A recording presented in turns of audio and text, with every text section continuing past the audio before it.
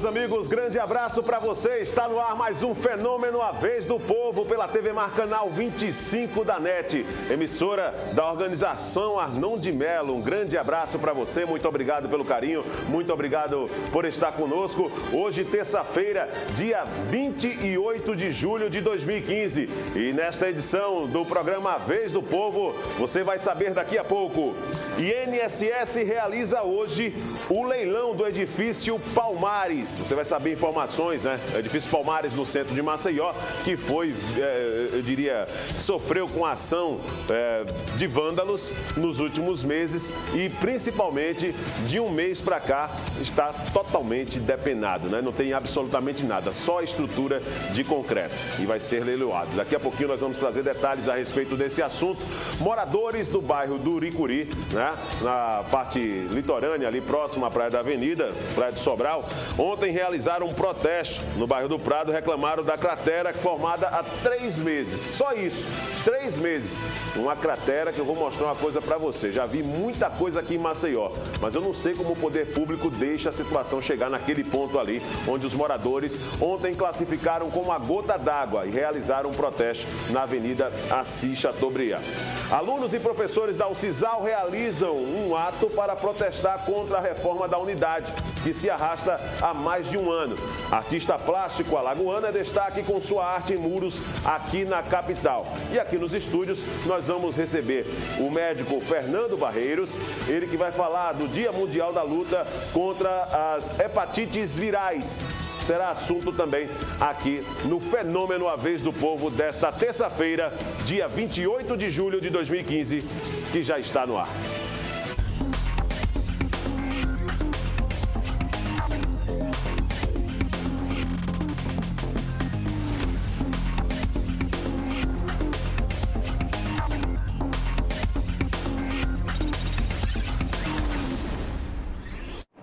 Legal, meus amigos, grande abraço para vocês mais uma vez. É, está começando o Fenômeno A Vez do Povo na manhã desta terça-feira. Eu quero dizer para você que está conosco, a partir de agora você pode participar conosco também através do 3377-9097, deixar suas mensagens, a sua participação é super importante, inclusive para poder também, nesta participação, trazer a denúncia, trazer a informação para nós que acompanhamos aqui o Fenômeno A Vez do Povo, levar ao conhecimento da sociedade e principalmente das autoridades autoridades aquilo que você classifica como necessidade e levar também ao conhecimento público esta situação. O nosso WhatsApp também está à sua inteira disposição para que você possa interagir com a gente através do 98107 9872. Pessoal da nossa produção, nossa equipe técnica, o departamento de jornalismo já está à sua inteira disposição para que você possa trazer justamente a sua notícia, a informação e contribuir também para a melhoria aqui do programa, o fenômeno a vez do povo, né? Né? De forma especial, estamos aqui apresentando nesta semana, já que o Wilson Júnior continua gozando das suas merecidas férias, mas estará de volta na próxima semana e com muito brilhantismo, dando sequência, fortalecendo ainda mais essa equipe da TV Mar, que tem Vone Malta como o diretor de jornalismo, não é isso? Vamos dar aqui sequência ao programa, lembrando para você que o nosso WhatsApp já está à sua disposição, a nossa querida Patrícia, competente Patrícia, está lá no nosso departamento de jornalismo, a Morena Melo, a Porlane Santos, toda a equipe pronta aí, a Laira Santa Rosa também, hoje jogando de repórter, mas também é uma competente produtora, uma competente repórter, também está fazendo esse trabalho para a nossa equipe trazer a informação da maneira precisa para você. Vamos começar o programa de hoje fazendo um balanço da violência em Maceió. Nós já trouxemos vários casos ontem a respeito da violência do fim de semana, mas de ontem para hoje a coisa também não ficou muito muito atrás, não. Tivemos vários, vários registros. E entre eles, ontem, por exemplo, três carros foram roubados por criminosos armados. Somente no bairro do Barro Duro, na parte alta de Maceió. Os crimes foram registrados em intervalo de pouco mais de uma hora. Também no bairro, do, no bairro Duro, né? O, proprietários de uma residência tiveram vários pertences levados por assaltantes. Dois bandidos chegaram, um veículo, chegaram em um veículo e invadiram o imóvel imóvel. Eles renderam os moradores, levaram televisores, um videogame, três aparelhos celulares e um relógio. Até o momento, ninguém foi preso. Ou seja, fizeram a farra no Barro Duro ontem casas realmente muito bem arrumadas, né? Nós já temos um conhecimento daquela região ali e que acabou sendo alvo de bandidos. Ontem teve furto de veículos e essa residência que acabou tendo vários pertences levados. Um homem foi preso em flagrante por tráfico de drogas na Rua da Alegria, no centro de Maceió, na noite de ontem. As imagens já mostram aí, olha a foto de divulgação da Polícia Militar. Leonardo Francisco da Silva, de 20 anos, estava com 61 bombinhas de maconha, dinheiro e outros objetos usados no preparo dos entorpecentes para venda. Uma substância branca também foi encontrada e, segundo os militares, a suspeita é que seja pasta de cocaína. Um adolescente de 17 anos foi detido durante a abordagem. Né? Além do, do, do, adolescente, teve também o Leonardo Francisco da Silva, de 20 anos, esse já de maior, preso, e essa quantidade já se considera em tráfico. Né? Essas trouxinhas de maconha, bombinhas de maconha, né? são 61 aí no total. Agora, quanto ao dinheiro, isso não dá nem para pagar uma pinga, né? não dá nem para pagar uma dose. Né? Só tem ali três, quatro notas de dois reais. Bota, bota essa imagem aí de novo, vai, vamos lá.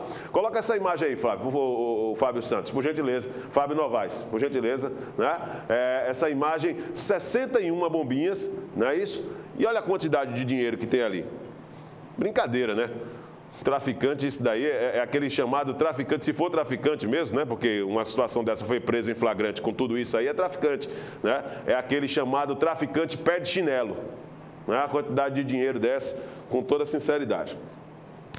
Vamos lá, vamos trazer aqui a sequência do fenômeno A Vez do Povo na manhã desta terça-feira. O INSS manteve para as 11 horas desta terça-feira a realização do leilão do edifício Palmares, situado no centro de Maceió. O prazo para pagamento da calção de 5% do valor do imóvel era pré-requisito para participar do certame. Até ontem, ninguém tinha manifestado interesse na compra, mas segundo a assessoria de comunicação do INSS, o leilão será realizado. O imóvel chegou a ser avaliado em quase 9 milhões. Para ser mais preciso, 8,9 milhões de reais. O edifício Palmares foi alvo da ação de vândalos por diversas vezes. Ferros, portas, janelas e pedaços de vidro foram retirados do local. Essas imagens só a TV Mar Canal 25 tem. É preciso destacar isso, imagens exclusiva, exclusivas do Valdemir Soares, porque nós fomos justamente a a parte interior né, do edifício Palmares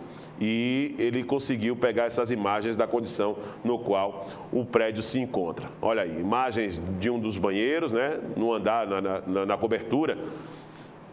A casa de máquinas também foi filmada pelo Valdemir Soares e essa é a condição do edifício Palmares hoje.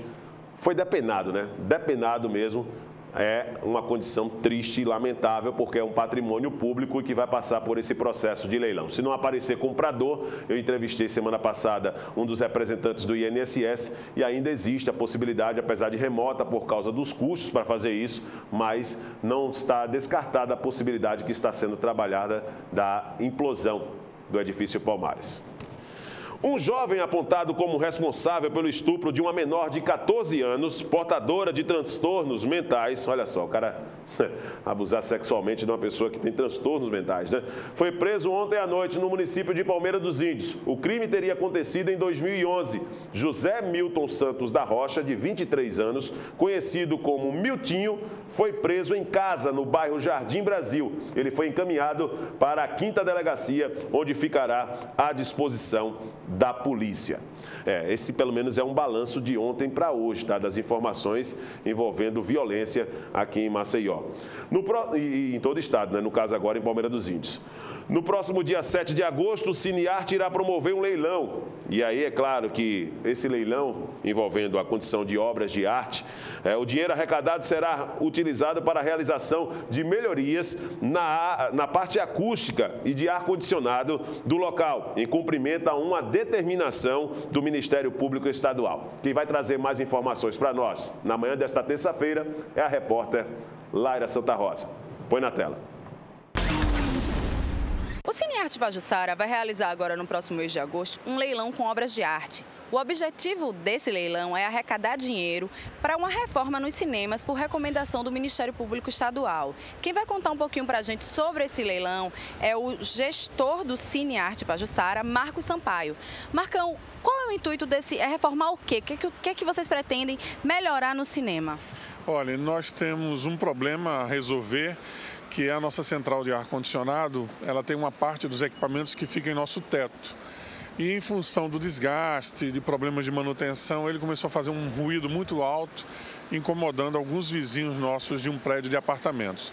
Então, depois de algumas tentativas, não conseguimos resolver o problema, fechamos um acordo com o Ministério Público para que nós pudéssemos resolver esse problema. Fizemos o orçamento, e esse valor fica acima da nossa capacidade do que a gente arrecada hoje de patrocínios, de apoios e de, do que a gente vende na bilheteria. Então, buscamos o apoio do público e agora alguns artistas se uniram no sentido de doarem as suas obras para que a gente possa arrecadar recursos e realizar esse serviço. Vocês já conseguiram arrecadar quantas obras que vão ser, é, vão ser destinadas para o leilão?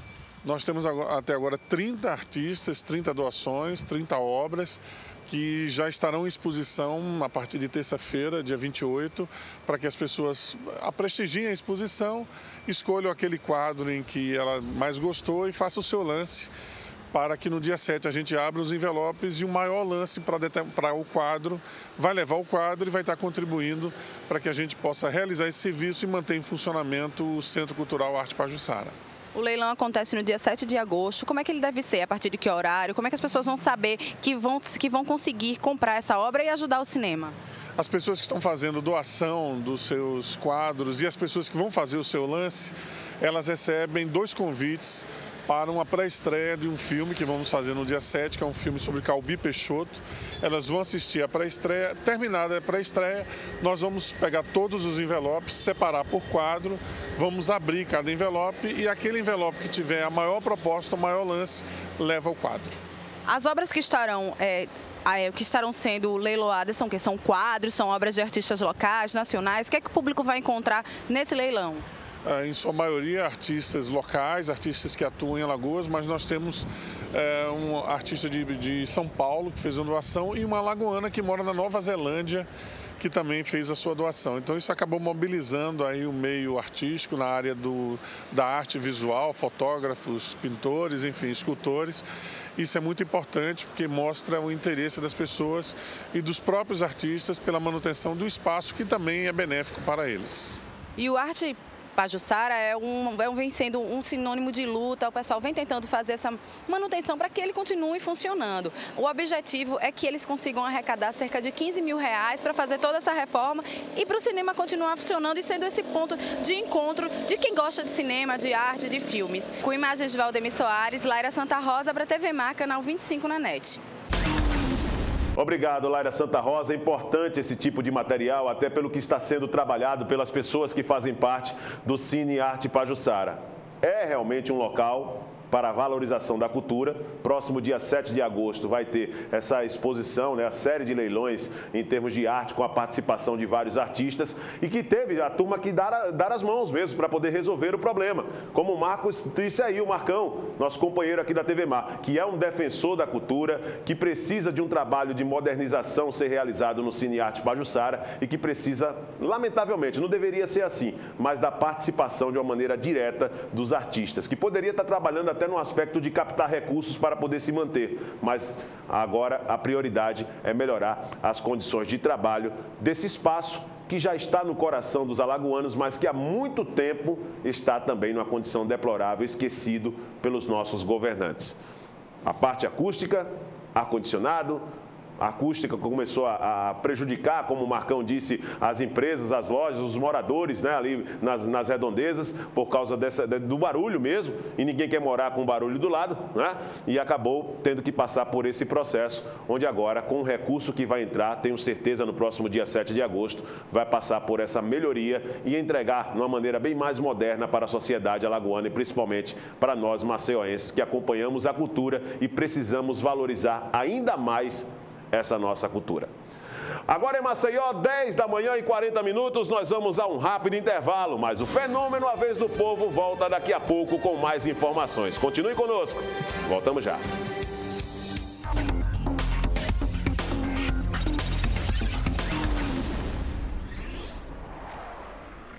Você sabe o significado dos 5 R's da educação ambiental? Fique sabendo. Cinco ações para um futuro melhor Cinco práticas para uma vida sustentável. Essa história teve início nos anos 70 do século passado, quando as questões ambientais começavam a preocupar muita gente. Assim, criou-se o conceito dos três R's. O primeiro R é reduzir. Isso mesmo, reduzir o consumo, comprar só o necessário e escolher produtos com maior durabilidade. O segundo R é reutilizar, ou seja, usar um produto mais de uma vez para outro fim. Quer um exemplo?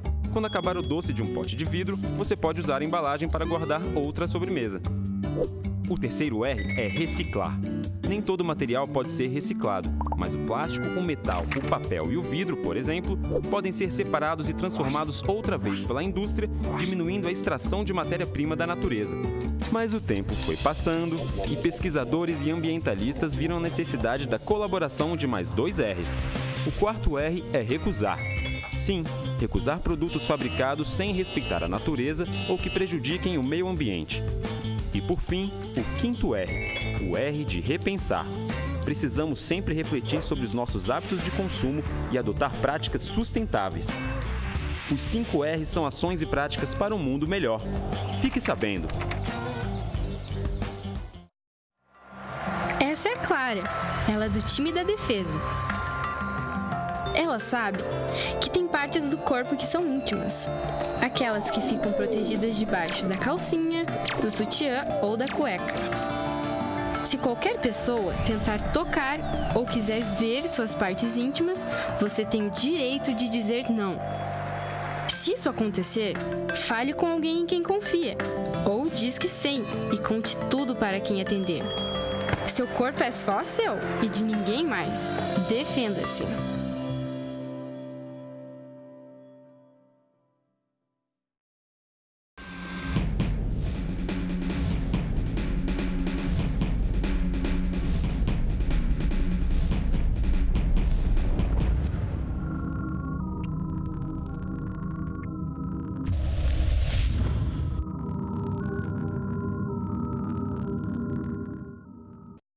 De frutas, néctar de frutas coringa. O melhor alimento líquido, néctar de frutas coringa. Pêssego, uva, manga, goiaba, caju, laranja.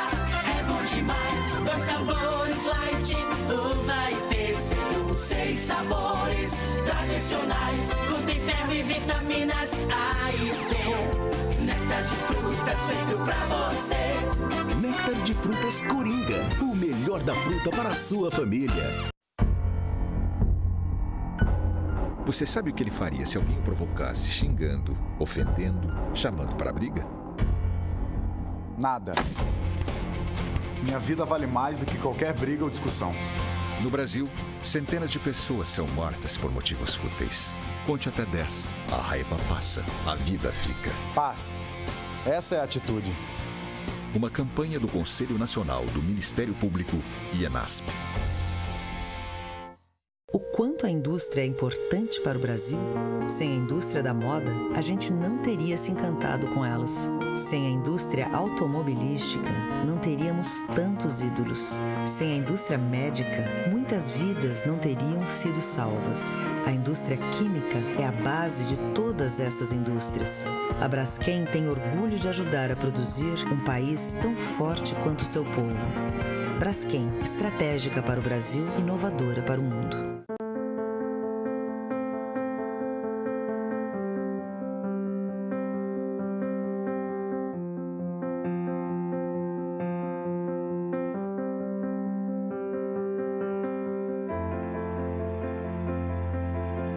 Acreditar nos leva mais longe. Esse ano, a Santa Casa reafirmou o nível 3 de acreditação com excelência e continuamos a acreditar que podemos ser melhores. Doutor Arthur Gomes Neto, diretor técnico médico CRMAL 2503 RQE 1874.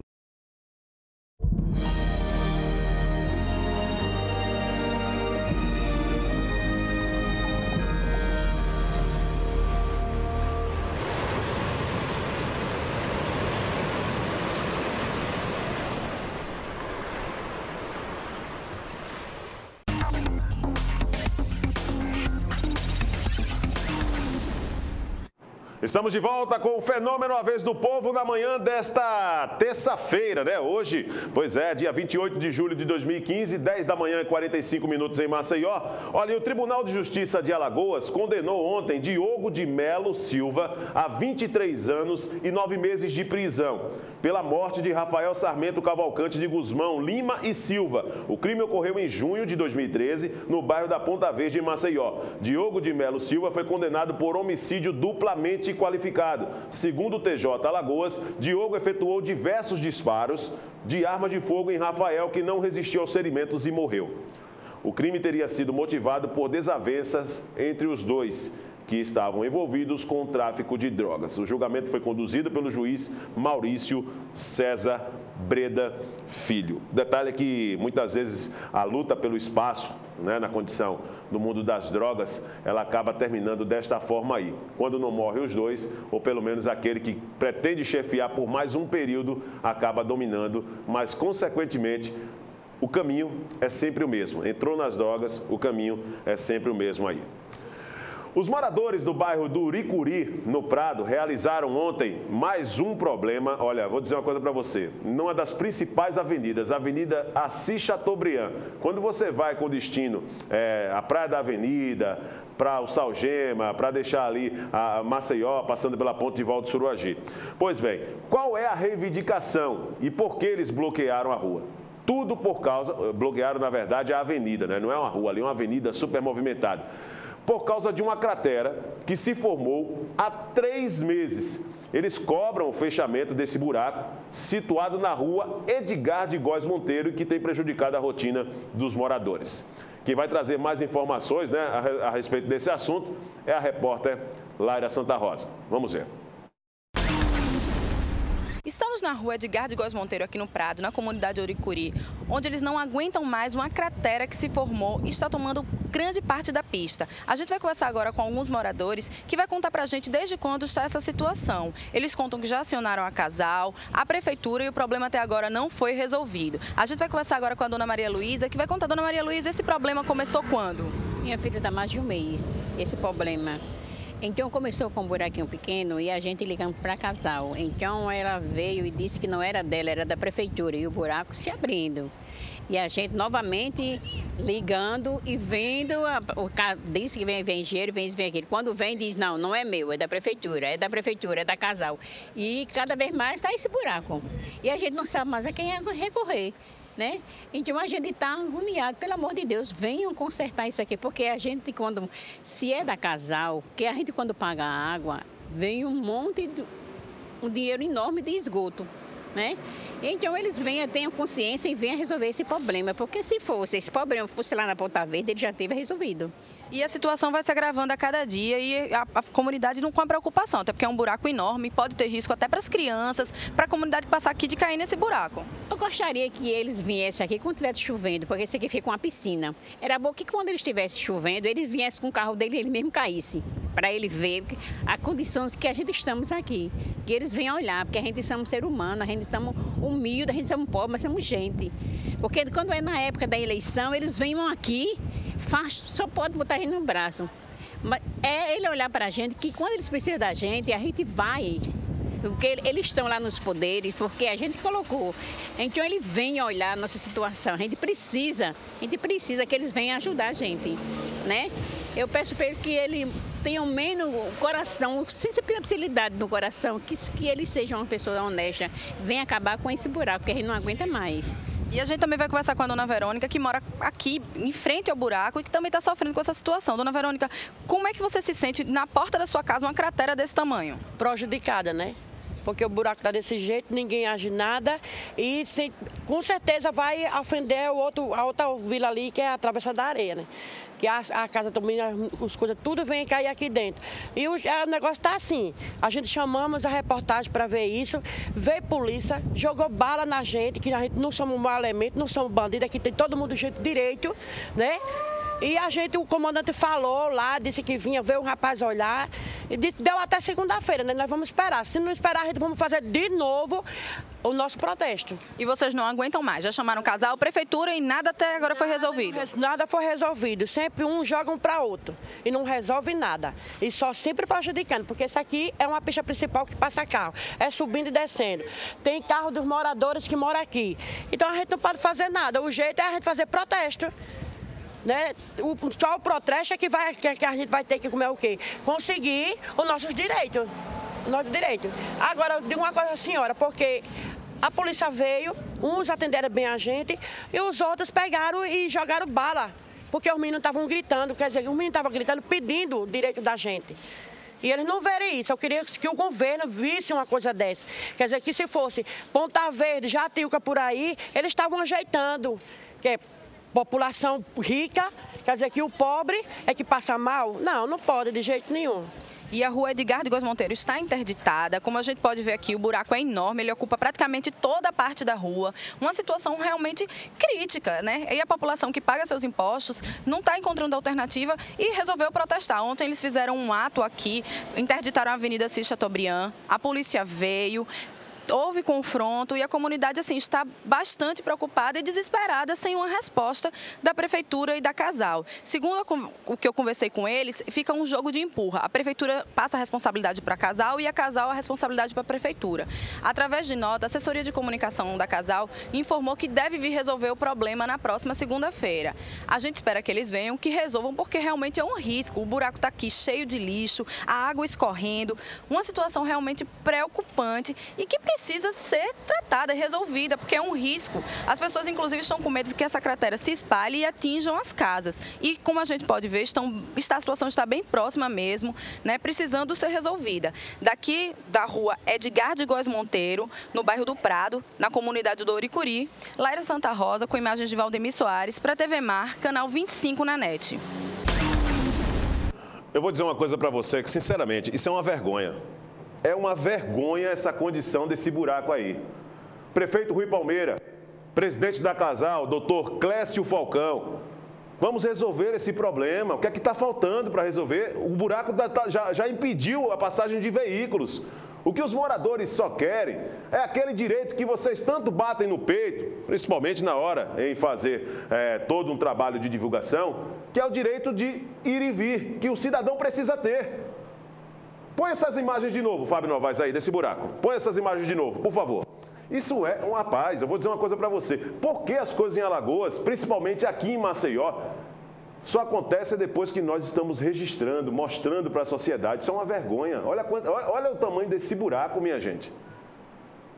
Você sabe por quê, minha senhora? Não sai rapidinho o conserto disso aí? É porque está escondido. É uma rua. Ali, se fosse uma principal, já teria talvez sido resolvido rápido o um negócio. E aí, hoje, amanhã, como a Laira Santa Rosa disse que a assessoria está vindo resolver, mas três meses quer dizer que se os moradores não fizessem um protesto, estaria até hoje o buraco ali, é, trazendo esse transtorno para os moradores. Olha, eu fico muito chateado com essa situação, porque sei o quanto esses moradores, eles, eles pagam, se esforçam para pagar seus impostos. E se, por exemplo, uma conta d'água tiver 15 dias atrasado, o pessoal vem lá, corta sem nenhum tipo de amor ao próximo, sem nenhum tipo de conversa. Às vezes deixa pai de família sem água em casa, deixa as pessoas passando necessidades, não quer saber por causa de 15 dias. E por que quando tem um buraco como esse, três meses, segundo o morador? Três meses. Isso é, com toda sinceridade, uma vergonha. Me respeito, eu respeito demais as pessoas que administram justamente o nosso poder, mas com toda sinceridade, que fazem parte do poder público, mas é uma vergonha. Não tem argumento que me convença uma situação como essa. Então, o presidente Clécio Falcão da Casal, que nos recebeu muito bem, vamos agilizar o trabalho dessas pessoas. O que é que está faltando? A Casal sempre vem tendo uma relação muito boa com a imprensa e num momento como esse nós temos que bater mesmo, nós temos que cobrar, porque isso é uma vergonha. Os moradores do Uricuri precisam ter o mesmo tratamento que os outros que moram aqui na parte alta de Maceió. Não pode ser um tratamento diferenciado. E eu espero que isso seja resolvido, porque a nossa reportagem vai ficar atenta e nós vamos sempre buscar a informação. Amanhã, se estiver resolvido, não vai ser motivo de estar jogando confete aqui, não. É mais do que a obrigação devolver para a comunidade, a prefeitura, a casal ou quem quer que seja, a condição de ir e vir coisa que os moradores na rua Edgar, aí lá no bairro do Uricuri, ali no Prado, próximo à Praia de Sobral, hoje já não tem. Ou seja, nos últimos três meses não tem. O saber e debate da semana de hoje, aliás, o, saber e debate desta semana é que eu fico chateado, cara, com essas coisas, sinceramente. Né? Fico chateado demais com essas coisas apresenta como fato social do Enem os benefícios da bicicleta. Eu sou praticante, inclusive o professor vai fazer daqui a pouco as suas avaliações. Eu gosto de utilizar a bicicleta para trabalho e tenho sentido os reflexos na pele mesmo, no aspecto positivo, não só com o esporte, como também na economia.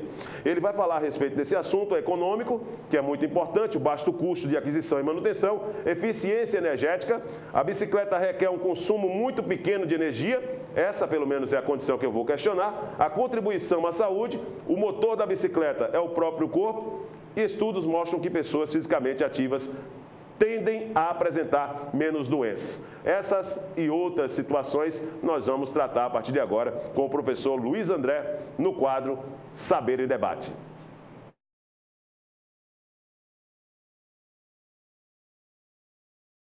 Tudo bem, professor? Seja bem-vindo mais uma vez. Sei que você sempre participa com o Wilson Júnior. Para mim é um prazer. Você é um grande comunicador, um artista também na hora da aula, né? Está sempre dando realmente as avaliações, fazendo aquele trabalho dinâmico de compreensão e também preparando os nossos jovens para o futuro, né? Isso é muito importante. Então, o educador é sempre respeitado, principalmente aqui por mim.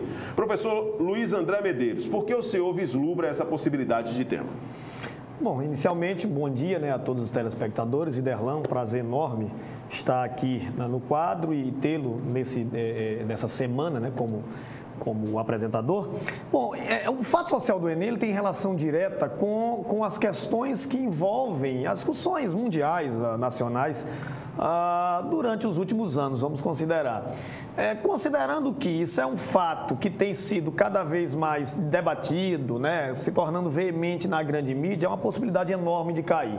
Mas algumas questões tá, é, trazem os fatores que possibilitam esse fato social. A primeira grande questão é o fato de que em 2012 nós tivemos um Congresso Nacional aprovando uma lei, a Lei de Mobilidade Urbana, lei essa que determina que os transportes não motorizados têm prevalência sobre os transportes motorizados, que, certo. portanto, pedestres e bicicletas deveriam ter prevalência sobre transportes motorizados, como os, os ônibus e os carros, individualmente falando. Essa é a primeira grande questão. Mas é se lembrar também que, recentemente, nós tivemos algumas discussões muito fortes na imprensa a respeito do tema. É? Em todo esse país, nós estamos hoje fazendo análise de implantação de vias ciclísticas, ciclovias ou ciclofaixas. Né? Maceió, inclusive, é uma delas, né? inclusive com, com, com certo estadalhaço, com certos problemas problemas em determinadas vias, como é o caso da José Lages. O prefeito de São Paulo hoje é, sem dúvida nenhuma, o prefeito de maior problema, a prefeitura de maior problema na implantação dessas situações. Basta ver que a Avenida Paulista, gigantesca, né, lindíssima Avenida Paulista, está sendo fechada dia de domingo para que as pessoas possam usufruir do lazer, né, enquanto dignidade mesmo, tá? E aquela via é fantástica, porque você deve é, saber que ela é, é, composta por metrô, não é isso? Então, você tem o metrô para ali poder, por exemplo, se deslocar com mais facilidade. Ah, e agora, com a, o fechamento, aliás, não fechamento, a diminuição da velocidade nas chamadas vias ah, dos, da, da, das marginais do Sim. Tietê e do, de Pinheiros, diminuindo a velocidade, com o objetivo, então, de fazer com que o número de acidentes seja menor e, consequentemente, né, você flua com mais facilidade. Então, essa, esse debate é um debate muito amplo, claro, não tenha dúvida. Claro, né? Claro. E aí vem a grande questão: o direito de vir, que você agora, de forma até consternada, né, se, se, se colocou, uh, colocou a tua opinião. Esse direito de ir e vir é desrespeitado a todo momento. Nós acabamos de ver uma matéria e você acabou de falar que também pratica o, a, o, o ciclismo, não é isso? E sabe que, que claramente nós somos desrespeitados todos os dias sempre, em relação a Sempre, sempre, sempre. Sempre somos desrespeitados e é muito importante abordar temas atuais como esse, até para o desenvolvimento dos jovens. Claro. Então, acho que isso aí é uma boa sacada mesmo. Mas, professor, que possibilidade de desenvolvimento o senhor apresentaria nesse texto? E é. se a redação fosse estabelecida em cinco parágrafos, por exemplo? Vamos imaginar, vamos imaginar que, que o tema ele fala sobre a, a, as estruturas cicloviárias, o seu significado e o direito de ir e vir, o direito de liberdade, que é desrespeitado a todo momento, vamos deixar claro. Aquela senhora se manifesta de uma maneira muito contundente, muito veemente no é tocante é a isso. Né? Nós precisamos ainda de regras que sejam efetivas na aplicação dessas regras, porque regras jurídicas por si só, o que a gente chama de direito é apenas de caráter formal, não adianta. Tem que ser rápido para resolver, não é isso? Bom, para desenvolvimento de um tema como esse, de proposta de desenvolvimento, nós teremos, por exemplo, possibilidades, Vidalan, como a questão de se falar do desenvolvimento sustentável, porque ela está diretamente ligada, ah, é isso? Sim, associada Você diretamente. falou desenvolvimento sustentável, tem ligação direta com a questão da diminuição da queima de combustíveis fósseis, né? já que Perfeito. nós somos hoje é, movidos pelo petróleo né, e por seus derivados.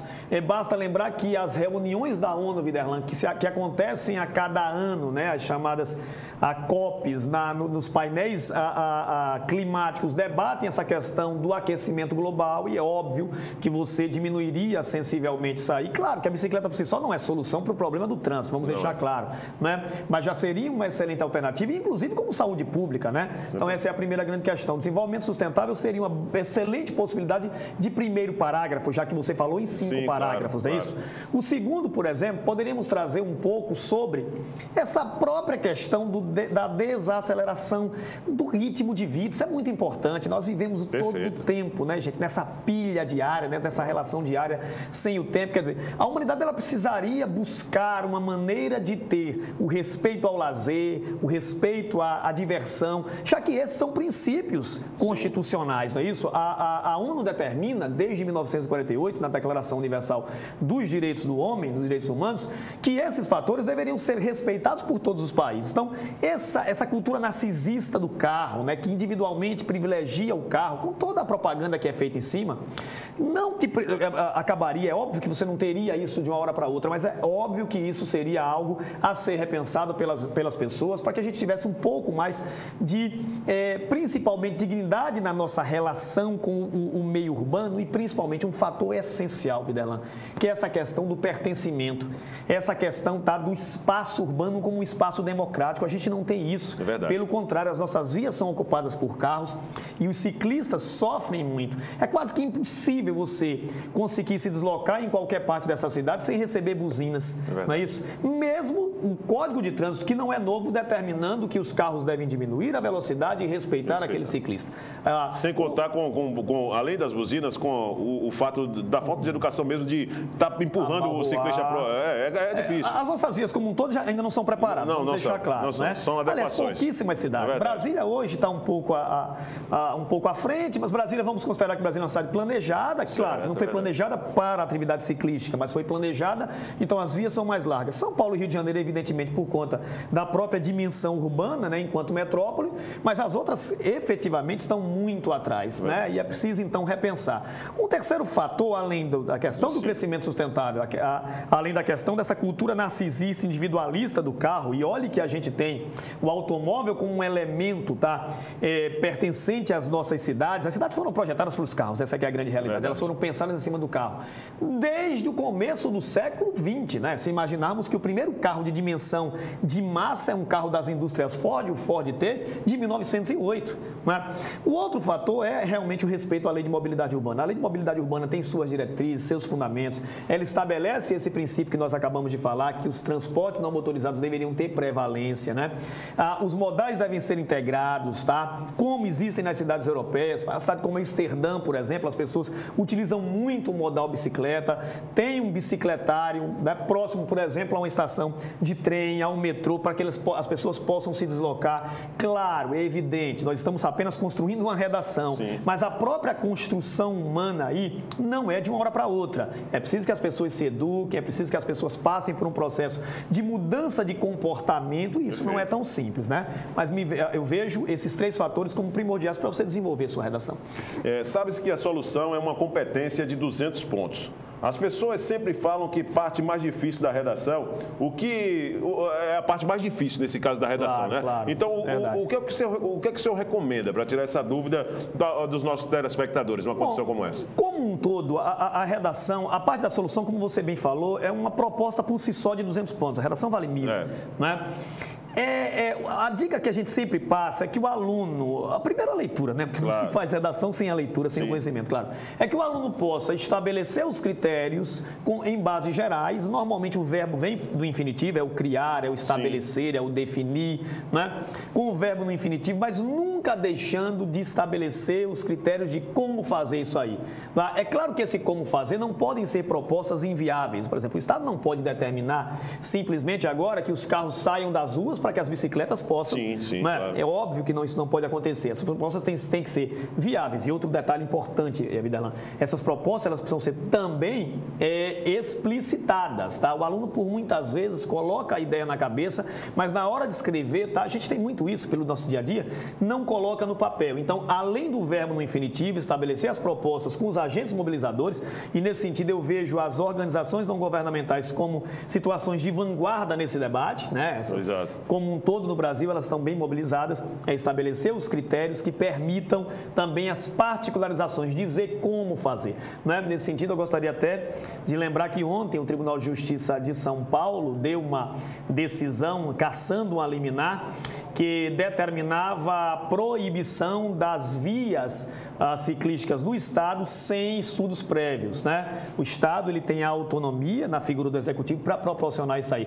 Preparamos alguns slides com soluções. Vamos ver? Vamos ver? Vamos ver, dar uma sim. olhada nesses Vamos slides aí olhada, sim. com algumas das soluções. Então, essas propostas, como falei, têm que ser de fato particularizadas. Né? Essas propostas precisam ser estabelecidas para que a gente possa ter o critério de dizer como fazer especificamente. Felipe, né? eu vou pedir ao Felipe para colocar os slides. Os slides. Vamos lá, Felipe, vamos colocar os slides aí do professor. Ah, são Né? quatro Vamos ver aqui. propostas, olha aqui algumas delas. Ó. Redução da velocidade no perímetro central para que todos tenham mais fluidez e segurança para todos os constituintes do trânsito. Não é? As pessoas isso. deveriam obedecer ao critério de velocidade, até porque estudos já provam que quanto menor a velocidade, o, o trânsito flui com mais facilidade, Sim, em razão, é óbvio, da diminuição do número de acidentes. Há uma organização você- também do processo, né? Você conhece muito bem essa cidade, Conheço, conheço. sabe bem das dificuldades. Conheço. A gente sabe que determinadas vias aqui, as pessoas desrespeitam o trânsito como um todo e o número de acidentes acaba inviabilizando. Claro, claro. Não é verdade? É verdade. Ó, criar programa visando a desoneração tributária da cadeia produtiva da bicicleta, suas partes e peças,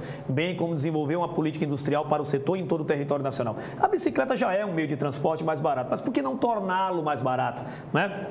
Bicicleta na minha época, tá? Era um desejo de criança. Né? As pessoas todas queriam ter uma bicicleta. Hoje isso se transformou Há quem diga que é o têm. primeiro grito de independência, né? De um adolescente, jovem, de uma né? determinada marca de bicicleta existente ainda É verdade, hoje, é verdade. que as pessoas colocavam no bolso do, É do paletó da calça do pai, não é verdade? O que mais? Tem mais duas propostas aí. Vamos colocar então as outras duas. Vamos lá, Felipe. Ó, elaborar programa educativo continuado visando a criação de uma cultura de priorização dos modos ativos de deslocamento e a humanização do trânsito. O trânsito do Brasil é uma coisa impressionante. Nós matamos por ano nesse país mais de 50 mil pessoas. Eu sempre gosto de fazer essa comparação para que as pessoas tenham noção. O Enem adora isso porque dá argumento de autoridade, essa- esse critério de comparação.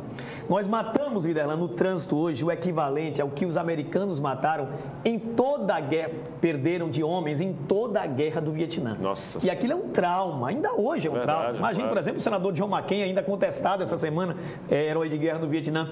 Ah, é, a, a- a- situação é, nós temos um grande problema, precisamos resolvê-lo, porque o número de vidas ceifadas é muito grande e o custo disso é enorme, a gente sabe muito bem. E olha que nós estamos aqui apenas comentando sobre o número de mortes. Sim, claro. Fora as pessoas que são, São, né, eh, acidentadas, como um acidentadas, todo nesse caso. Conceder de fato prioridade nas políticas públicas relativas à mobilidade urbana, aos modos não motorizados ao transporte coletivo e à integração entre eles, dessa forma favorecendo a humanização do espaço público e a democratização do acesso à cidade. Nota que essa daqui praticamente já é uma solução pronta, né? É, aqui, colocando isso, dá a entender ao corretor que o aluno conhece a realidade que o cerca, conhece a lei de mobilidade urbana, traz elementos além daquela realidade proposta e certamente a sua nota de solução se aproxima. Se aproximaria não, seria de 200 pontos, não tenha dúvida. É, é realmente uma condição importante. Professor Luiz André, é, É, o quadro Saber em Debate né, voltará na próxima terça-feira. Muito importante essa sua participação. Continuo dizendo temas pertinentes para o Exame Nacional de Ensino Médio, que teve uma antecipação, né? Foi antecipado, os Agora, alunos estão se preparando. 24 e 25 de outubro, 24 sábado, 25 de outubro, com o dia da redação. Professor, um grande abraço para você. Muito obrigado pela presença. Professor Luiz André, que conversou conosco aqui justamente ao vivo no quadro Saber em Debate, aqui no Fenômeno A Vez do Povo. O Ministério Público Estadual, para a gente dar sequência aqui ao programa, vai investigar o contrato firmado entre o Instituto Saber Educacional e a Prefeitura de Rio Largo. A contratação da entidade, que custou mais de um milhão de reais aos cofres do município, foi alvo de uma denúncia anônima ao Ministério Público, que denunciou, é, que decidiu, na verdade, instaurar um procedimento investigatório preliminar. A portaria que instituiu a investigação está publicada no Diário Oficial do Estado desta terça-feira. Agora em Maceió, 11 da manhã, 12 minutos, o Fenômeno A Vez do Povo vai dar uma pausa, mas daqui a pouquinho você vai ter muitas informações ainda nesta edição. Voltamos já.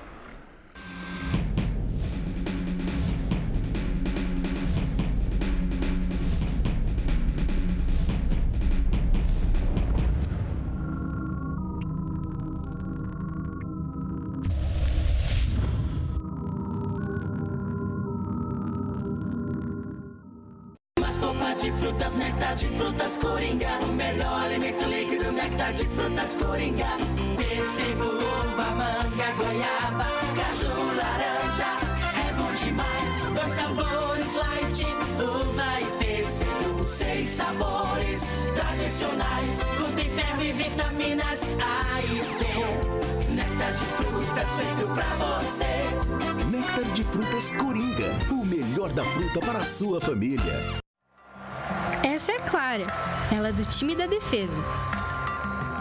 Ela sabe que tem partes do corpo que são íntimas. Aquelas que ficam protegidas debaixo da calcinha, do sutiã ou da cueca. Se qualquer pessoa tentar tocar ou quiser ver suas partes íntimas, você tem o direito de dizer não. Se isso acontecer, fale com alguém em quem confia. Ou diz que sim e conte tudo para quem atender. Seu corpo é só seu e de ninguém mais. Defenda-se.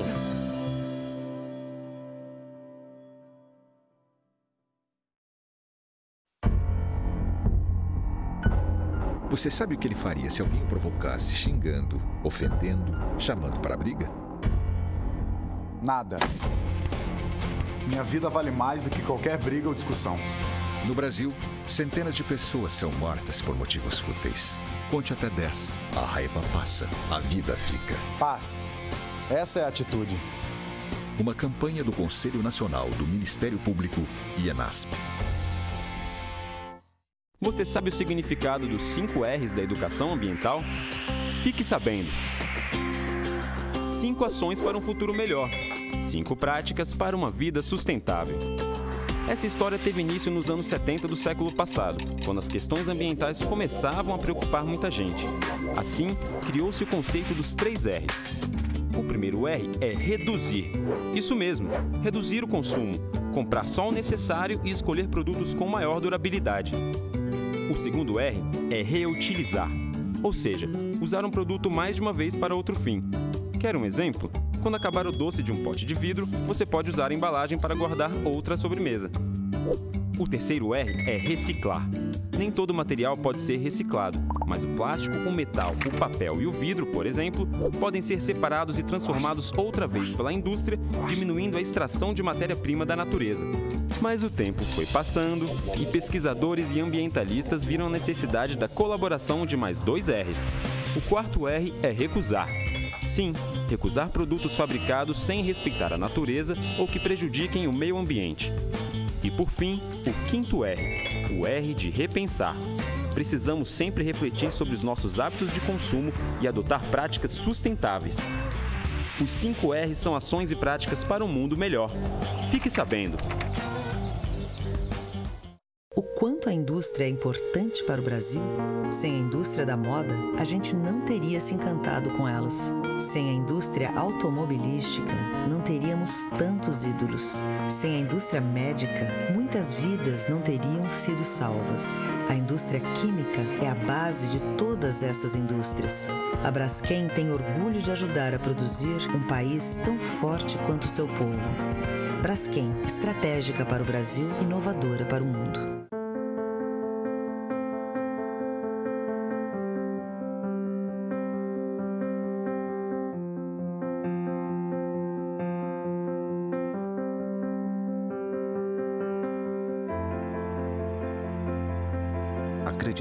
Nos leva mais longe. Esse ano, a Santa Casa reafirmou o nível 3 de acreditação com excelência e continuamos a acreditar que podemos ser melhores. Doutor Arthur Gomes Neto, diretor técnico médico CRMAL 2503 RQE 1874.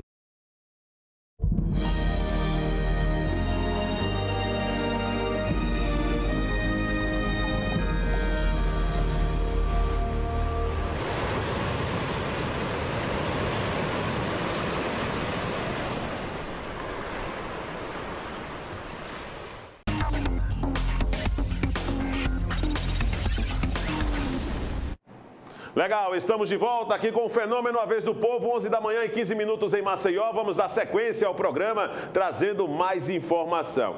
Olha, e um acidente registrado na tarde de ontem deixou três pessoas mortas no povoado Folha Miúda, na zona rural do município de Caíbas, no agreste de Alagoas, nas proximidades de Arapiraca. Essas imagens aí, foto do Everton Luiz, do Diário de Arapiraca. A colisão frontal envolveu um veículo modelo Fiorino de placa MEH 9702 da Bahia e um Fiat Uno de placa OHG 1290 de Alagoas. Os dois ocupantes da Fiorino e o condutor do outro carro morreram no local, antes mesmo de receber atendimento médico. O acidente aconteceu nas proximidades do presídio do Agreste. Os ocupantes da Fiorino, identificados apenas como Cipriano, de 65 anos, e Jefferson, de 25 anos, seguiam de Piranhas com destino ao município de Messias quando se envolveram no acidente. Os corpos foram recolhidos ao IML de Arapiraca. Né? A situação realmente triste, mais um acidente aí, mais vítimas do trânsito que acaba cada dia que passa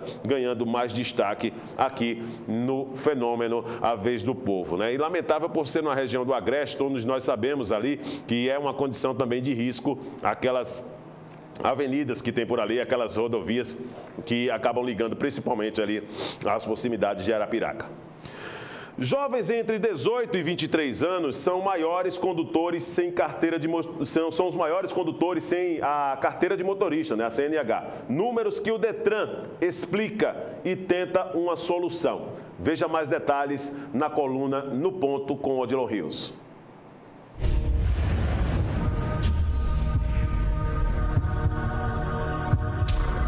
Números do Detran mostram que entre 25 mil e 30 mil motoristas sem habilitação dirigem Alagoas de maneira ilegal. Quem são eles? A maioria tem entre 18 e 23 anos, foi reprovado duas ou três vezes nos testes do Detran e uma parte não conseguiu passar na baliza, estacionar o próprio carro. Qual o problema? Para o Detran, nervosismo e demora na marcação dos testes de direção. A proposta do presidente Antônio Carlos Gouveia é reduzir dos atuais 45 dias para no máximo 20, mas terá de aumentar o quadro de funcionários. O Detran não pode fazer concurso público, apesar de ser uma das poucas estatais que registram lucro ou saldo positivo nas contas. A 300 funcionários no departamento seria necessário o dobro. Previsão de concurso só ano que vem, no segundo semestre. Até lá, estuda-se lançar a carteira social de motorista, mais barata ou com custo zero. Uma ideia que promete melhorar a popularidade do governo e simplificar o acesso à carteira, que é instrumento de trabalho.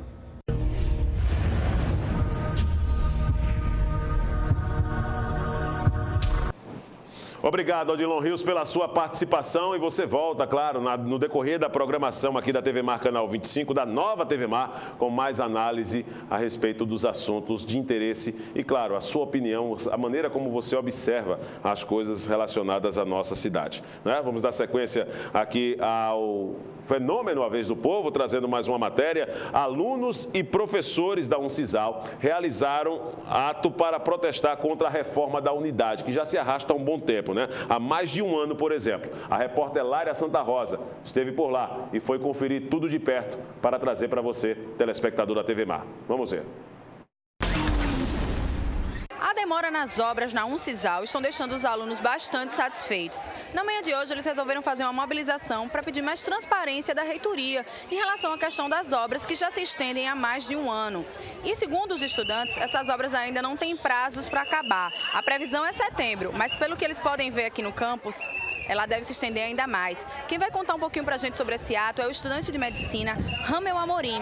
Ramel, vocês estão bastante cansados já dessa demora e dessa falta de resposta da reitoria. É isso, exatamente. Nós estamos aqui hoje tentando fazer uma mobilização, então reunimos estudantes de todos os cursos, todos os bacharelados, paralisando de fato as nossas atividades para protestar, porque a gente não aguenta mais. Não é só a situação, por exemplo, das obras que estão atrasadas, mas toda a repercussão que a reforma tem causado a gente, como a questão de transporte, a questão de alimentação e muitas outras questões também que envolvem no campo do estudante e fazem com que a gente não consiga é, ter aulas de qualidade, de fato uma formação de qualidade como é o objetivo da Uncisal. Vocês estão estudando aonde nesse momento? Onde é que vocês estão tendo aula? Nós estamos divididos em várias unidades, a gente tem aula, um pouco aula aqui mesmo nessas condições como vocês estão vendo aqui, mas a gente tem aula também no Liceu Alagoano, é, que, é, que é Uneal, né, no antigo liceu, a gente tem aula também no Floriano Peixoto e a gente tem aula na Unifal. Então estamos divididos em vários outros locais, só que grande maioria desses locais não tem estrutura para nos, nos comportar. Inclusive, dentro das salas de aula, a iluminação é péssima. A gente, por exemplo, no liceu, vive uma situação com vários gatos e é mais ou menos a nossa situação que estamos hoje, é, de fato, protestando contra essas questões. E vocês dividem espaço com outros alunos. Então, assim, enquanto vocês estão na sala de aula, é, crianças e adolescentes estão brincando num pátio na hora do intervalo e isso acaba atrapalhando e afetando diretamente a qualidade do ensino. É, exatamente. A reforma é um dos nossos grandes problemas, como você pode ver, e, e tipo, a nossa formação ela tem sido dificultada por conta disso, mas também existem uma série de outras questões que a gente também está protestando hoje dentro desse campo. Por exemplo, a questão da assistência estudantil, porque as bolsas permanência da gente não está prevista dentro do orçamento do Estado, então a gente está tentando fazer uma mobilização junto nesse sentido, e uma série de outras demandas específicas internas, inclusive a nomeação do concurso público, que ainda não foi feito, que ainda não chegou de fato a ser concluído pelo governador do estado e que nós estamos atrasados por causa disso. Então existe uma série de pautas, uma série de coisas que nós estamos reivindicando e fazendo esse chamado à população lagoana, porque nós estamos formando os nossos futuros profissionais numa qualidade como vocês estão vendo. Nós queremos reagir, dar uma resposta nisso e falar que é um CISAL sim. Tem participação na, na comunidade alagoana, tem participação de fato é, dentro, da, dentro da, das nossas proximidades e a gente quer mudar essa conjuntura, formar melhor os profissionais para melhor atender a população. Com esse ato, vocês pretendem o quê? Uma reunião com o reitor? O que é que vocês esperam após essa mobilização? Nós esperamos respostas. Hoje, a nossa mobilização é por respostas. Então, as nossas reivindicações, nós queremos dialogar com a reitoria, que a reitoria desça para falar com a gente, mas também a gente quer é, fala, é, fazer um chamado ao governo, tentar fazer um chamado ao governo para que olhe mais atentamente para a nossa universidade, porque nós não temos verba específica para muita coisa e a assistência estudantil é uma delas. Então, nós precisamos, de fato, dialogar e dizer que sim, a educação pública superior tem que ser uma prioridade. E os estudantes devem permanecer aqui durante toda a manhã, nesse ato, em busca de respostas, como eles mesmos falam. Eles dizem que, e eles nos, nos cartazes que estão aqui, eles falam de acessibilidade, de reforma na biblioteca, tudo pedindo para que as melhorias aqui para um CISAL. Né? Com imagens de Valdemir Soares, Lara Santa Rosa, para a TV Mar, canal 25 na NET. Obrigado, Laira Santa Rosa, pela sua participação, acompanhando, claro, mais um protesto aqui em Maceió na manhã desta terça-feira. A Organização Mundial de Saúde institui a data de 28 de julho como o Dia Mundial da Luta contra as Hepatites Virais. Desde então, o Ministério da Saúde vem cumprindo uma série de metas e ações integradas de prevenção e controle nos níveis de gestão do Sistema Único para o, para o enfrentamento desculpa, das hepatites virais no Brasil. Nós temos o prazer de receber aqui nos estúdios o médico o doutor Fernando Barreiros, que vai falar um pouco dessas ações e quais as novidades para combater a hepatite. Doutor, seja bem-vindo aqui aos nossos estúdios. Prazer recebê-lo aqui nos estúdios. Prazer é nosso. O que são as hepatites virais e quais quais as medidas para evitar a transmissão, doutor? Isso. As hepatites são infecções causadas por vírus, né? e esses vírus é, que nós vamos conversar agora são aqueles que têm preferência pelo fígado. Então, basicamente, para ser didático, a gente vai falar sobre o vírus A, o B e o C, sabendo que existe ainda o vírus D e o vírus E. Nossa. E existem ainda outros vírus que podem causar hepatite durante um curto período de tempo, 15 dias, 20 dias, por exemplo, como citomegalovírus, até a própria dengue causa uma hepatite durante alguns dias. Né? Mas e existem outras causas de hepatite, né? Hepatite alcoólica, hepatite tóxica, medicamentosa, né? por drogas. Mas vamos falar então das hepatites virais, que Exato. é a data que você hoje falou. Exato. É o dia de combate, é, de, é um dia de luta né, contra as hepatites virais. E nesse dia de luta, que foi instituído pela Organização Mundial de Saúde, foi uma sugestão, inclusive, do Brasil, para que o dia 28 fosse é, eleito como dia de luta a nível mundial, é, muitas medidas estão sendo tomadas ao longo desses últimos anos. O fato mais importante, no meu modo de entender, foi que na década de 80 se começou a fazer a vacinação contra a hepatite B. Hepatite B é uma hepatite que é muito frequente não é? no, no, na Ásia, no leste da Ásia e também na África. E também aqui no Brasil, nós já tivemos eh, um número considerável de pessoas portadoras do vírus B. Ainda no norte do país, nós vamos encontrar uma alta incidência de, de vírus B. E nós, então, já sabemos que temos uma vacina contra a hepatite B. Certo. Isso aí já é uma coisa que nos tranquiliza, não é? Claro. Porque a vacina já é feita na maternidade. Ao nascer, a criança já toma essa vacina. Deve tomar a segunda dose após um mês e a terceira dose após seis meses. Esse é o esquema tradicional para se evitar a hepatite B. Você vacinando contra a hepatite B, você então já previne o aparecimento de cirrose, já previne o aparecimento de câncer de fígado, somente com a vacina. É? Importante. Importante. Né? E também previne, é? para aqueles é, telespectadores que nos assistem e que conhecem um pouco mais desse tema, uh, o surgimento da hepatite D, D de dado.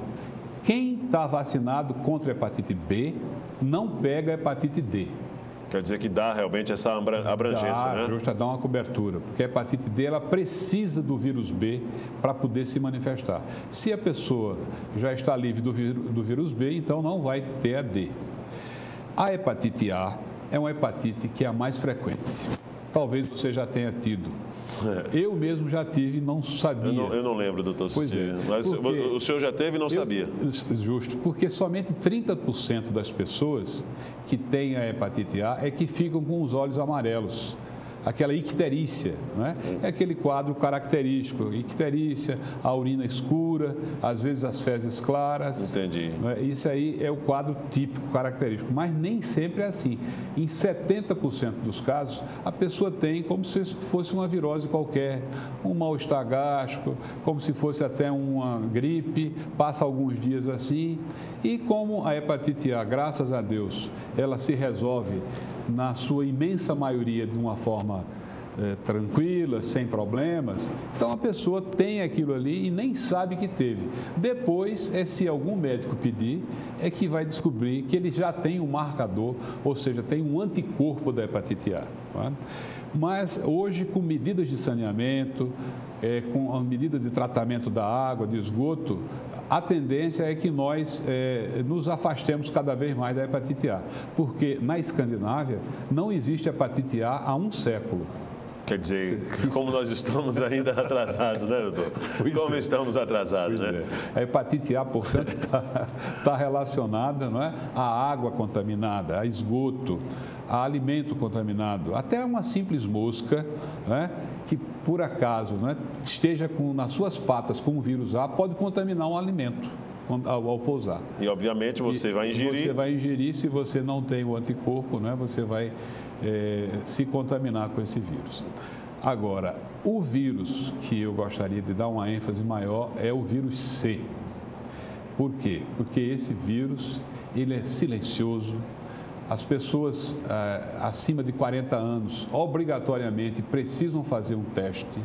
Esse teste hoje é ofertado na rede pública, é o teste rápido, aquele que fura o dedo, como se fosse fazer uma glicose, não é um teste de glicose, mesma coisa. Você faz isso aí rapidinho, com cinco minutos a pessoa diz se a pessoa tem ou não o vírus da hepatite C e daí ele é encaminhado para um serviço de maior, maior porte. Né? Nós temos aqui o Hospital Elvio Alto, nós temos aqui o PAN Salgadinho, nós temos aqui o Hospital Universitário da UFAL. Isso para falar somente dos serviços públicos. Né? Existe também os médicos credenciados de, de, de convênios, tal, que atendem os gastroenterologistas, hepatologistas, infectologistas, que são os especialistas nessa área. Doutor, eu acredito que é importante uma participação como essa para levar o conhecimento da sociedade, já que tem muitas pessoas, e eu acredito, vou estender essa pergunta para o senhor mesmo. Nossa população está muito desinformada a respeito de hepatite, nessa classificação que o senhor citou. Todo mundo acha que hepatite é uma coisa só, mas tem essa classificação. Hoje o senhor classificou identificou aqui que 30% da população é, talvez só tenha conhecimento que teve hepatite A, do isso. tipo A. Então, é, isso ah, de uma maneira mais ampla, a nossa população está bem desinformada a respeito do que é a hepatite hoje, na sua opinião? Acredito, você foi feliz na sua colocação. Né? As pessoas ainda fazem uma mistura grande sobre a, a questão das hepatites virais, não é? Sabendo que a hepatite A ela atinge, é? principalmente até os 15 anos de idade, é? É, são justamente aquelas faixas etárias é? da, da, primeira infância, é? da segunda infância, da adolescência. Esse é o período da hepatite A. E a prevenção é basicamente a questão do saneamento, da água tratada. Apesar de que hoje já existe vacina ofertada gratuitamente na rede pública para hepatite A, para menores de dois anos. Certo. Entendeu? É, poderia também fala, falar um pouco mais a respeito da hepatite B. A hepatite B ela precisa ser colocada é, como aquela hepatite de maior importância, principalmente para os jovens. Por que digo isso? Porque a hepatite B é uma doença sexualmente transmissível. Olha aí, uma coisa que eu não sabia também. Pois é. A hepatite B, ela é transmitida através de líquidos, através é, do esperma, através da secreção vaginal, ou seja... Quer dizer que o portador da hepatite B, ele pode ser um transmissor... Sem dúvida, né? sem dúvida. Pode ser não, ele é um ele transmissor. Ele é um transmissor e o vírus da hepatite B é um vírus muito resistente, é um vírus que aguenta dias e dias, mesmo ao relento, ao ar livre, ao contrário do, do vírus do HIV, Sim. que é um vírus fraco. É. O da hepatite B não, ele demora vários dias para ser eliminado. Então é necessário que a juventude, principalmente, esteja muito atenta aos pais e mães de família que agora nos assistem. Vacinem seus filhos. Vocês estão fazendo aí um ato não é, de proteção para o resto da vida, porque a pessoa, quando vacina, ele está protegido para o resto da vida.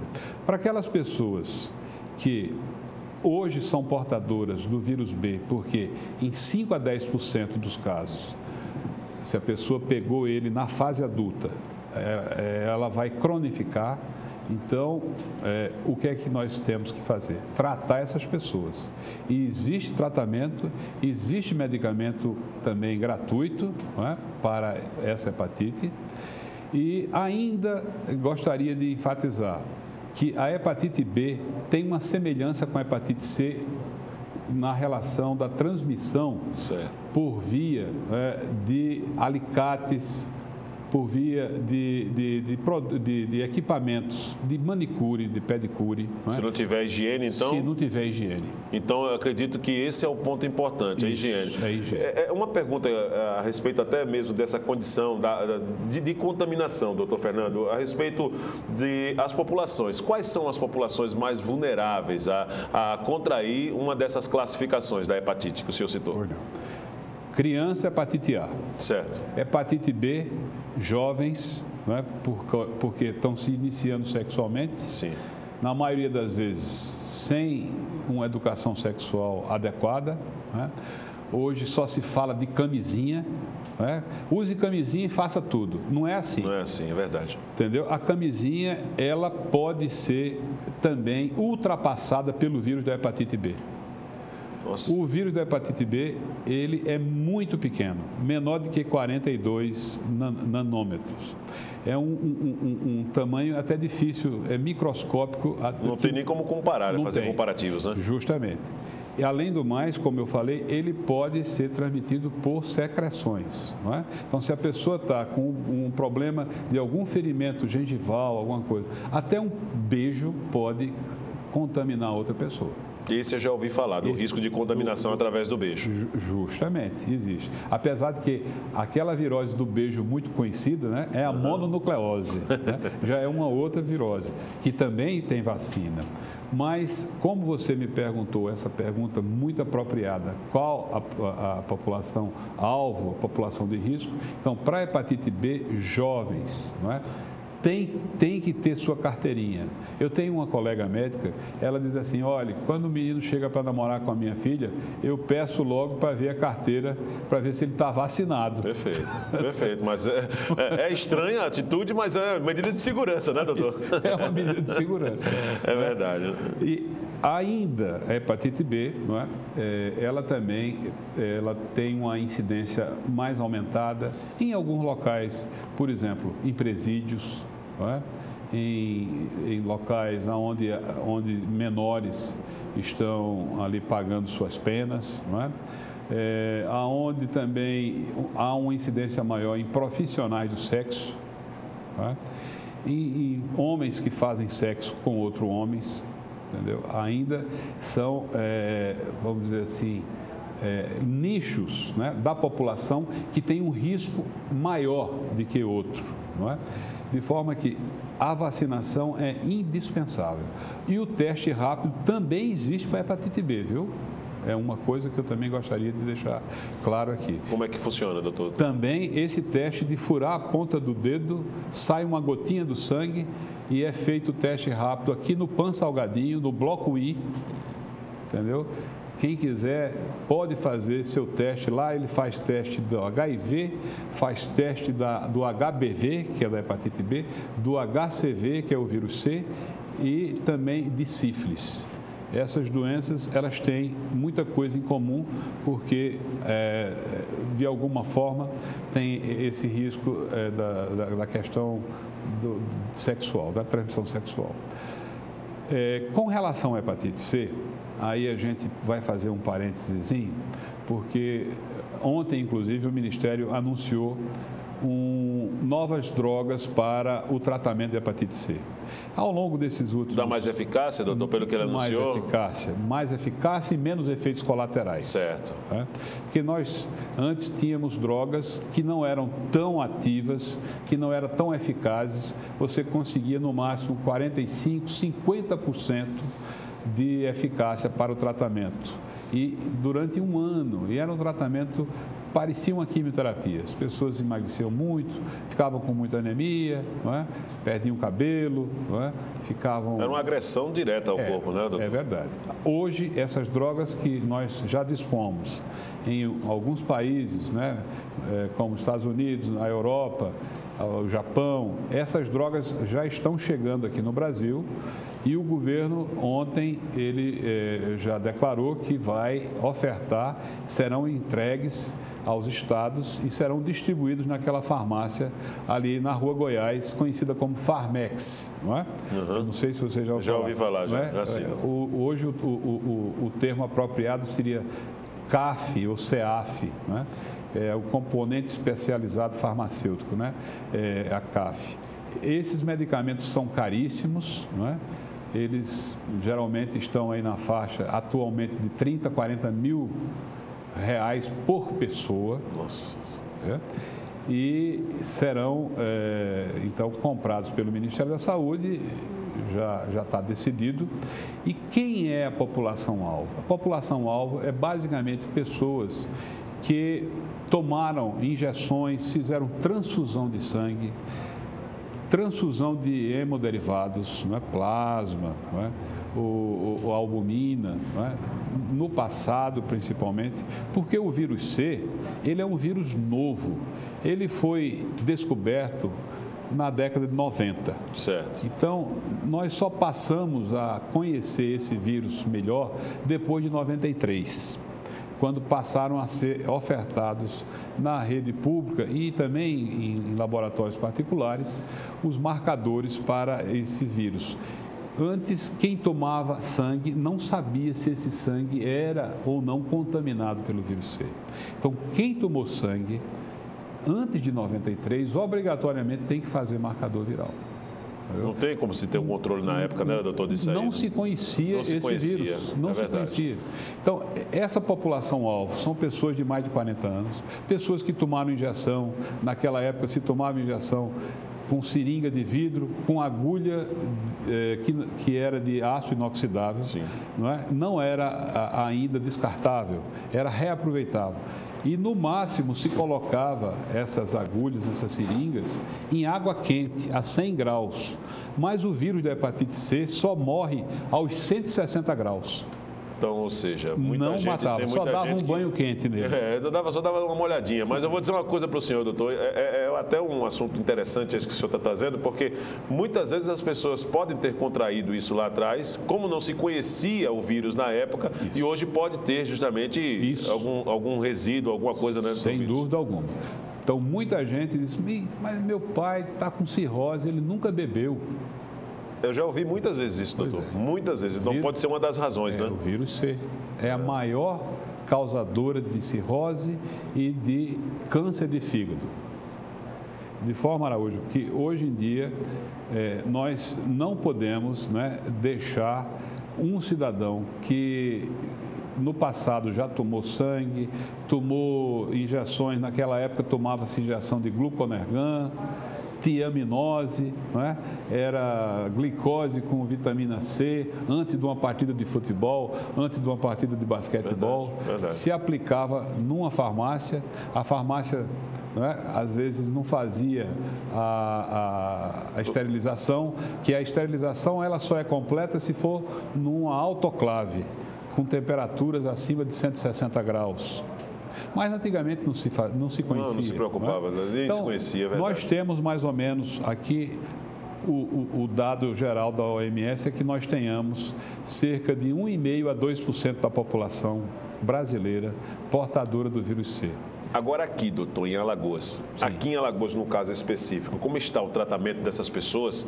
Porque eu, eu imagino o seguinte, o senhor falou que o Ministério está enviando os medicamentos e que custa em torno de 40 mil reais por pessoa. Isso. Não é? Mas eu, particularmente, acho que deveria ter uma campanha mais de informação, uma campanha educativa para fazer as pessoas ganhar esse conhecimento. E, e, é claro, até desafogar profissionais como o senhor, que eu tenho certeza que muitas vezes, quando vai receber um paciente, dá uma verdadeira aula, como essa, essa, essa entrevista que nós estamos aqui, para poder dar um conhecimento àquele paciente ali. Você acha que falta isso aí também, um trabalho mais educativo do governo? E- sem dúvida, falta e nesse, nesse aspecto a gente conta muito com vocês da, da mídia, da imprensa e geralmente vocês são muito eh, favoráveis é, à divulgação desses dados todos, é? E sem dúvida é é necessário também que nas escolas, é, até no ensino médio, né, os professores de ciência já passem para os seus alunos a necessidade de- da, da caderneta de vacinação, porque nós temos hoje vacinação contra quase todos os vírus, não é? Verdade. Quase, não é? Infelizmente, não existe vacina para a hepatite C. É a mesma coisa da HIV, não existe ainda. Não existe vacina, ainda, Não né? existe. Mas, com relação a essa pergunta eh, efetiva que você me fez há pouco, eh, sobre eh, se nós estamos, de alguma forma, fora do compasso entre o conhecimento da população, não é? sobre o risco que ela corre, eu concordo com você. É necessário que a população se informe mais, ou seja, é necessário que a categoria médica, o pessoal da, da, da, da área de saúde como um todo, farmacêuticos, enfermeiros, odontólogos, todos possam repassar para seus alunos para seus familiares, Perfeito. para os seus contatos, a importância de fazer um teste né, de todas as hepatites, mas da hepatite C fundamentalmente, porque é aquela que evolui mais rapidamente para a cirrose e para o câncer de fígado. E que acaba, consequentemente, se não for tratado... Onerando muito o sistema público, tirando a questão da tragédia pessoal Sim. da pessoa Sim. e da família, não é? Verdade. Um, um, um transplante de fígado hoje custa mais de 100 mil reais. Então é um e é difícil de se conseguir um fígado. Aqui em Alagoas não se faz transplante de fígado. Era essa a pergunta que eu ia encaixar para o senhor. Como é que tem sido o tratamento aqui em Alagoas? O tratamento é fora domicílio. Nós temos que encaminhar esse paciente, a, a secretaria também banca não é? é essa questão do, do deslocamento do, do, paciente para outro, outro estado. Normalmente a gente encaminha aqui para Recife, ou para Fortaleza, ou para São Paulo, ou para Salvador, centros maiores que fazem o transplante. Nós estamos ultimamente nos batendo aqui para ver se nós pelo menos, pelo menos conseguimos a captação de órgãos. Porque você sabe que, infelizmente, há uma, uma grande mortalidade aqui por acidente de trânsito, de moto. Verdade. E muitas vezes a, os jovens não é, perdem a vida e o HGE atende muito desses jovens que têm morte cerebral e precisa esse órgão ser é, doado e não é feita ainda a captação aqui em Alagoas. É importante esse tipo de assunto que o doutor Fernando Barreiros está discutindo aqui conosco, porque aquele trabalho que foi feito, até na, no processo de doação de órgãos também, acabou, acabou gerando é, é, muita coisa boa também no processo. É claro que tem a dor da perda, mas o fato de estar ajudando ao próximo. Isso. Doutor, a respeito da, dos sintomas, eu queria que você falasse de uma maneira mais específica dos sintomas para as pessoas que têm, a gente, claro, bater esse papo aqui muito importante, a respeito de identificação. Quais os sintomas que que você poderia é, dar como informação, um alerta, o apoio para a sociedade, aproveitando a nossa audiência? Pois não. O sintoma, na hepatite A, como eu lhe falei, cerca de 30% das pessoas, a doença está na cara, como diz, né? Porque fica logo com os olhos amarelos, é verdade. a urina escura, não é? Agora, 70% ainda não é, apresenta esses sintomas. Apresenta sintomas vagos. Então, tem que ter um pediatra experiente, um infectologista, uma pessoa que peça, no rol dos exames, peça um exame de transaminase não é TGO, TGP, daí ele vai ver que a transaminase está em 1.000, 1.200. Se o normal é 30, 40, a pessoa está com 1.000, está com o fígado inflamado. E muito. E muito, não é? é verdade. Então, ali ele vai descobrir, vai diagnosticar que a pessoa está numa fase aguda da hepatite.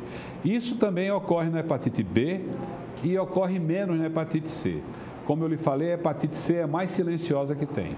Quando a pessoa, na maioria das vezes, vem apresentar sintomas quando ela é portadora da hepatite C, é porque já está numa fase muito avançada. Então, se ele chega no consultório ou no ambulatório com os olhos amarelos de icterícia, isso já é uma cirrose. Então, isso já é uma cirrose. Se ele chega lá com os, os pés inchados, não é? é demasiados, se ele chega com aquela barriga d'água, que você já deve ter Sim. ouvido falar, é, a CIT, não é? antigamente chamava hidropisia, não é? Uhum. se ele chega com um peito grande, não é? a ginecomastia, isso aí já é uma fase adiantada, um sintoma, um sinal adiantado de uma doença hepática. Nesse caso aí, ele já vai precisar de transplante. Por isso que, mais uma vez, a gente tem que se bater na prevenção ou no diagnóstico precoce. Então, de vez em quando, existem campanhas para teste rápido. Porém, eu aviso a população que nos assiste que todo dia existe teste rápido nos postos de saúde. Não é somente nas campanhas, não. Não, imagina. É, o pessoal se acostumou com a campanha da poliomielite. É? Espera é? muito aquela questão é, da campanha para ir, campanha, né? Justo. Mas todo dia tem vacina de poliomielite. A mesma coisa, todo dia tem teste rápido para hepatite B, hepatite C. Se tiver faltando, ele vai dizer, volte tal dia, mas sempre tem disponibilidade nos postos. Então, as pessoas que nos assistem, se dirijam aos postos. Quem ainda não tem segurança, quem ainda tem alguma dúvida se é portador ou não do vírus B ou do vírus C, se dirija ao PAN Salgadinho, ao Hospital Universitário, ao Hospital Elvio Alto, em Arapiraca também no serviço público já, já há disponibilidade. Maravilha. Alguns outros municípios já estão disponibilizando junto com o teste de sífilis, junto com o teste de HIV. Então faz e faz um check-up, como se diz, e vê que está tudo tranquilo e bola para frente, saúde que é o que importa, não é? Doutor Fernando, muito obrigado pela sua presença. Foi uma alegria. Para mim foi um prazer receber, poderia passar horas conversando sobre hepatite, desses aspectos importantes aí, para levar o conhecimento dos nossos telespectadores. Volte mais vezes, tá, doutor? Muito obrigado. Está convidado, viu? Muito obrigado. Voltarei sim. Vamos lá. Conversamos com o doutor Fernando Barreiros sobre essa condição né, de hepatite viral aqui no programa A Vez do Povo, pela TV Mar Canal 25 da NET. Nós vamos ao último intervalo do programa e na volta nós vamos trazer mais informações. Voltamos já.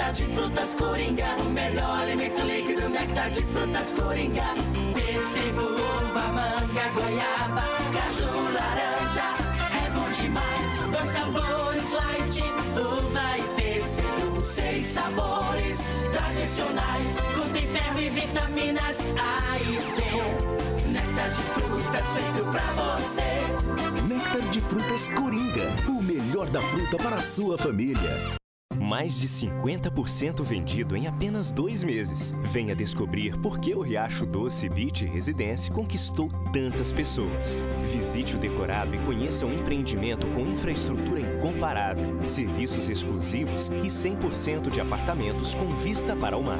Riacho Doce Beach Residência. É para investir, é para morar, é para veranear. Construção e incorporação Teto e Rava.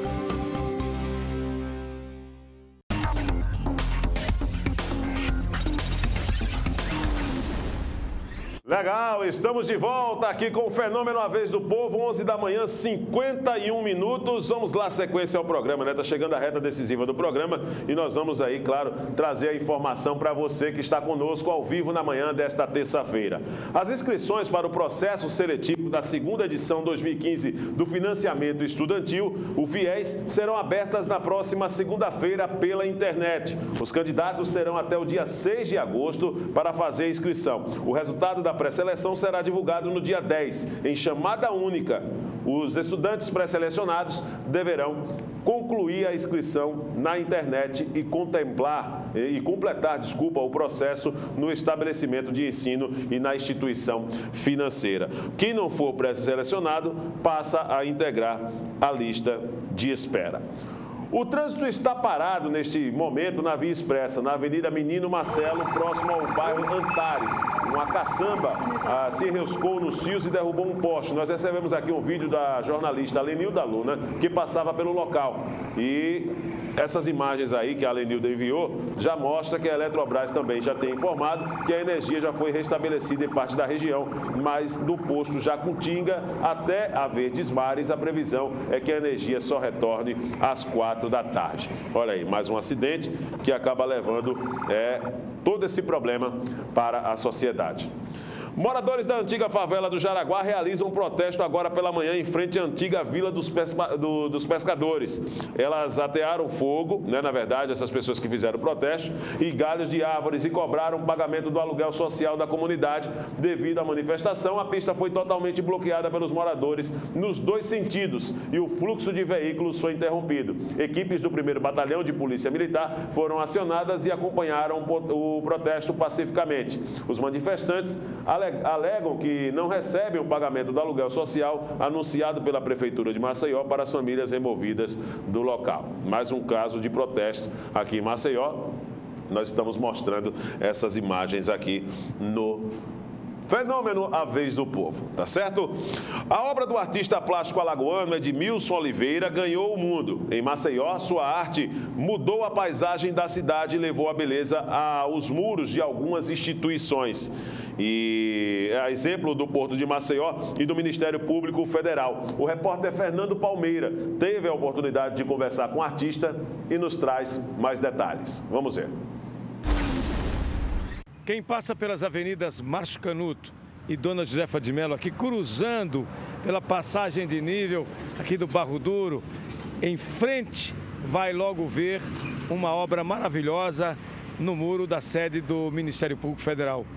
A obra plástica do artista alagoano que está aqui sendo aplaudido pela iniciativa, ele que nos dá o privilégio de falar agora conosco pela TV Mar, Edmilson Oliveira. O que é que realmente você trouxe aqui para esse grande muro, fazendo esse grande mural de arte no Ministério Público Federal aqui no Barro Duro?